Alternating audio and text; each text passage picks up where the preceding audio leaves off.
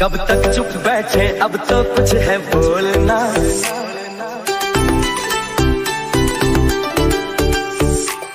कब तक चुप बैठे अब तो कुछ है बोलना। कुछ कुछ मर जाना